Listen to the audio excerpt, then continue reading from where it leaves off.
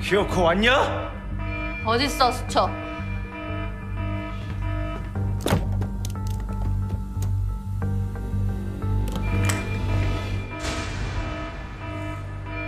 수첩! 내 놓으라고.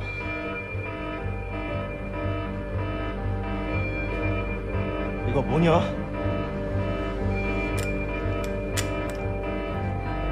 꺼내. 직접. 뭐 이걸로 나 쏠라고?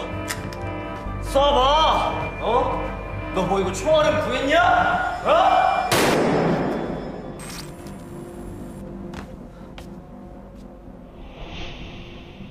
무슨 일이야? 총소리 이놈! 총소리 들렸어요 맞죠?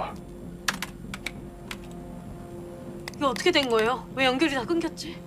아니 저야 모르죠 들어가 볼 수도 없고 아니 근데 저희 형님은요?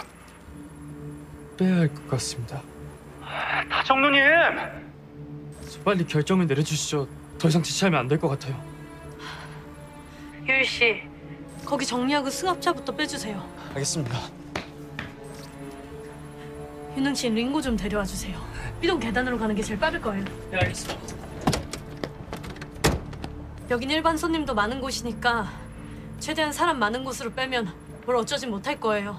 전 유일이랑 합류하겠습니다. 다시 연락드릴게요.